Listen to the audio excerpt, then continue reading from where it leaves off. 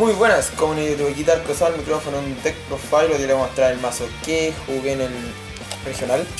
Que juego yo fue Yarja Hans, eh, Slash Macro Yarja, ahí van a ver por qué le digo así.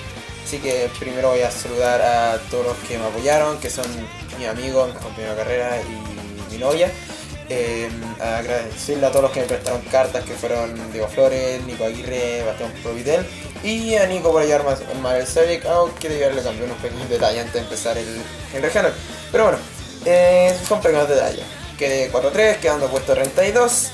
Eh, para jugar algo que no es meta, ya ya, es al cual un logro importante. Eh, si era juego meta además quedaba más arriba, pero yo quería jugar ya, ya me gusta el mazo y bueno, vamos a empezar con el mazo. Juego 3 Yao Jaggers, son un acelerador en el mazo, lo que hace es que cuando cae normal puedo buscar cualquier monstruo máquina tierra nivel 4 de mi mazo y ponerlo en mi mano, solo puedo hacer monstruos y invocaciones especiales de monstruos tipo máquina y no puedo atacar el turno que lo invoco. De monstruo cuando cae en turno 1 por ejemplo eh, cuando parto yo me deja el tiro un Yarjanex y buscando un armor para tener el siguiente turno. Este monstruo increíblemente bueno también cuando sabemos que nuestro oponente no tiene nada buscamos con armor el Yarjawoker hacemos Next, seteamos este mono y todo el mambo, toda la conga, todo el mambo y todo el atado. Eh, obviamente jugamos tres armors, estos son los principales buscadores del mazo, son el que nos dan, nos ayuda a buscar constantemente los accelerators. Jugamos también tres Jar Arsenal, siempre con él atacamos primero, si se salva obviamente, si podemos atacar, obviamente si tierno uno normalmente lo tributamos al tiro. Atacamos, eh, hacemos daño y después jugamos un armor o en el caso que ya tengamos algún armor, jugamos un ataque. Eh, eso más que nada. Jugamos también 3 Yarja Accelerator. Increíblemente este monstruo es buenísimo porque él abre la puerta de Insta Exit. Normalmente lo jugamos, jugamos, jugamos incontrolablemente. Cuando tenemos la oportunidad podemos jugar muchos Exit en el turno. Y juego un Yarja Attacker. El monstruo no es tan bueno. Es horrible top deckearlo en una situación de necesitar alguna cosa mejor, alguna un Accelerator, algo para hacer combo. Em, me salvó en match como contra Dark World, que le reventé las CTA, y contra Yansing, que le reventé los, las Creation. Pero al menos este de todos los monstruos es uno de los que sacaría, así que lo voy a dejar por mientras aquí. Eh, fue el corazón, el otro, corazón del mazo, que por algo se llama Jar Hands. Eh, las manos, jugué los manos de fuego, los manos de hielo, los jugué tres porque se me pegaban. El hecho de que me salían dos de hielo en mano más rápido que el regional igual me pasó la situación. O una de fuego, dos de hielo, entonces una mano horrible con Georgia. Eh, jugaba un Thunder King porque mucho buscador en el formato, lo cual ameritaba jugar un Thunder King. El monstruo contra Clifford ayudaba, excepto cuando lo equipaban o ponían en la zona de péndulo al portaaviones o jugaban a disco en la zona de péndulo. Nico, te estoy diciendo eso a ti. Eh, y eso más que nada. Y si me preguntan si lo sacaría, sí, lo llegaría a sacar otro monstruo que sacaría. Esos son los monstruos, vamos a sacarlos de acá. Ahora vamos a pasar por el hechizo, son poquitos, con top tifones. No jugué tres porque no quería la top era un tifón en un momento inapropiado. Un Rage X, My Control, mucho podía sacar un efecto de flip, los Clifford que eran mini cuando caían. Soul Charge para combats y tener Book of Moon para, para combos o algo así. Eh, no cambié ningún hechizo, la Soul Charge me ayudó, incluso me ganó, pero me ganaron una vez cuando activé Soul Charge y horrible, horrible esa situación. Eso fue Rick que me ganó con un barquito, un número 50. Jugamos de trampas, 3 Vanity, eh, ninguna es mía, aquí hay bastante plata las Vanity, eh, son dos de Diego Flores, una de mm, Gato, también me acuerdo, Ricardo, gracias Ricardo Tapia por prestarme la tercera Vanity.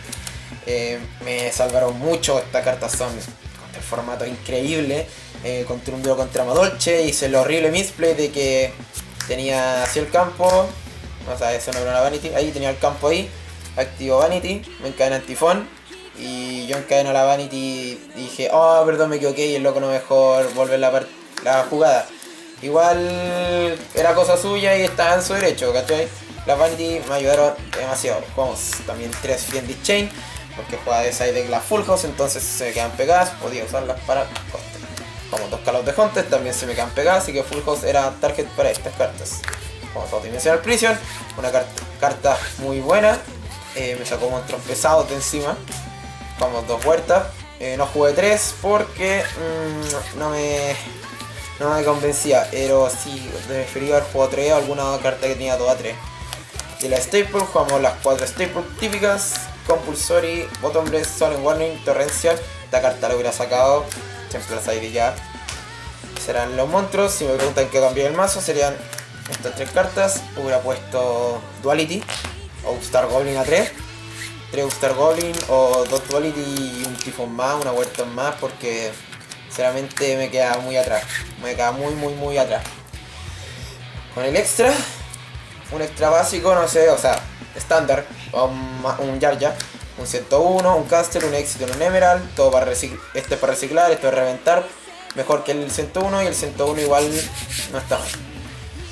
Juego una caja loca, por si me tiran skill drain, me tocó muchas veces que tirar skill drain, tirar caja loca y me lo matan al tiro, así que se comían, se comió una trampa más que nada. Ragnacero, Barquito, este famoso comentario de un poder, el contra el Clifford me sirvió porque el disco no lo podía afectar con esta carta, cuando los que siempre lo activan por tributo, y el barco para matar a algún monstruo. Con un Darkwolf, un Mestroke, una Beastie Wheeler, básicos. Em, no tiré nunca el Mestroke, no tiré nunca el D-Wheeler, nunca tiré el Darkwolf. De aquí tiré todos. La caja también, el el barco también. Nunca lo, tiré dos veces en el mismo duelo, con un combo de que estaba jugando contra un mazo Exodia, lo tenía en defensa. Mi oponente tenía demasiadas seteadas para protegerse, que sabía que tenía seteado. Le quedan 1900, activo de efecto. Luego jugué un Castle, me lo tiré al mazo, lo jugué de nuevo y ahí fue cuando hice una jugada bonita y le gané. Ese fue el, segundo, el primer game, después le jugué una carta de Sajik, se fue Rhapsody, lo jugué contra Nico, le removí dos cartas para equiparlo al Exiton, eh, después su disco atacó 3004 y me fui a la B. Y obviamente que jugué los tres Jarjanex, comunes, no importa que brillen, no te hay probabilidad de sacarlos, nada de nada, era más barato jugar los Jarjanex comunes y siempre los tiraba obviamente porque un mazo Jarjan. De side deck eh, jugué los Maxi, brillaron por su ausencia, nunca lo usé, en una carta inútil, o sea, no es inútil, pero no me sirvió con ningún duelo. Una fisión dimensional, carta estrella en el side deck me sirvió mucho. De hecho, aguja me ayuda, eh, los saqué en tres duelos, dos los tenía con fisura dimensional activa. Muy buena carta. Jugué dos full house, me dieron duelo contra Modolche, contra Dark World. Catástrofe limpié campos contra Satela, contra Clifford, aún así me ganaron. Mazos culeados potentes. Chance Disappearance, lo tenía contra Abyss, no me tocó ninguno. Eh, lo usé contra el Exodia para moverle todos los Fader. Así que eso igual me dio un duelo. Me dio el duelo ahí. Macro Combos, también lo mismo que Fisura Dimensional, las cartas estrella, por eso le digo Macro Yarja cuando entro en Game 2. En Game 2 saco las manos, saco algunas otras cartas y meto los Macro Combos. Eh, y dos espejos otra sombra por ahí y, y Shadow, me tocó Darwin, así que en ese lo usé. Me arrepiento del juego Maxi, nunca lo usé, en el momento que lo usé, lo ponen en no un poco más en un Jansing y fue el único momento donde lo usé. Eh, lo hubiera sacado, hubiera puesto dos Flying Sea, Flying Sea era la carta del formato, y hubiera sacado un techo agujas para meter otro, el tercer Flying Sea, porque se tenían que jugar tres y es demasiado bueno. Em, no queda de nada, bueno, el mazo que puedo decir, el mazo me rindió bastante. El mazo es bueno, sí, pero por ejemplo, porque perdí contra dos Satela y Clifford, que igual me bajaban disco y ya estaba muerto. Eh, la carta que puedo seguir, la dejéis porque es bonita. Em, problema es que, bueno, como un, mazo fuera de formato y este formato era obligación jugar meta para topear, o sea, no tengo obligación, pero las cosas como son, em, no, había que hacer, no había nada que hacer, pues entonces si todo el mazo que no era de meta lo, lo tomé y lo boxeé. El Jansing le gané, o sea, me costó un duelo porque me jugó, no me invocó especial ningún sincro, me mató a puro combo y no me tenía dipricio, no tenía nada. El duelo contra Podolche mandé el misplay, por eso perdí un game, pero sí, después le gané. El, game contra el Exodia bueno, fue fácil, porque que em, le quedan pocas cartas más y no le salía el Exodia, tuve suerte. Y el duelo contra el segundo que me tocó, que fue... Perdónenme. Eh, fue 2-0. La Dolce. Puta, bueno. No era el formato, así que le gané los dos Satellite que me tocaron. Uno fue Alejandro, no sé cuánto. Y me bajaba los Tribelion como enfermo. Creo que era uno de los pocos que jugaba Satellite Sirius, el que cuando cae recuperáis 5 cinco satélites del cementerio, barajáis y sacáis una carta. Bueno, él me bajó un Tribelion, un Deltero, le limpié campo, bajó al Vega, Altair, Cyrus, recuperó 5, bajó Tribelion y me fue al tiro sinceramente que Tribelion es un monstruo muy bueno. Es increíblemente fuerte. El otro Satellanite es Rick, el cual tengo el deck el que vieron el deck profile y juega un Deneb y me sentí mal por ser esa cuestión porque no pensé que me iba a ganar un Satellanite con un solo Deneb y nunca bajó Tribelion en su caso pero me tenía bastante control al juego me tiraba justo todo lo que necesitaba contra lo que yo tenía el Clifford el problema del disco. El disco es increíble. Ataca 2008, cuando lo bajáis por tributo es inmune a monstruos, a monstruos, a efectos de monstruos de nivel menor o rango menor a él. No, ningún exit puede hacerle daño a él, o sea, es matarlo a fuerza bruta, bajar el monstruo más fuerte que tengamos, que puede atacar obviamente Ragnacero, y equiparle este campeonazo. Y ahí atacarlo, pero más allá de eso el mono no, no se lo va a poder sacar. el mazo no se lo va a poder sacar de ninguna otra forma. Lamentable, ¿no creen? Y a ver, contra Janssen como le gané, básicamente Game 1 no ataqué. Contra game, en Game 1 él tenía su campo, yo no ataqué, lo aguantaba, ataqué una bella, era el Yatou, defendió dos lucas, él ataca a mis monos, muerto. El, Game 2 me ganó porque puta no me salieron las cartas, Game 3 me salió desde el primer turno el fisura dimensional, entonces estuve desde que turno 1 y con un cabrón maestro, me tiró tifón y yo ya tenía el macrocombo boca abajo, así que él ya no tenía que hacer. Aguanté suficiente como para que no se quedara sin monstruos. El del Exodia, esta fue la carta que me hizo ganar.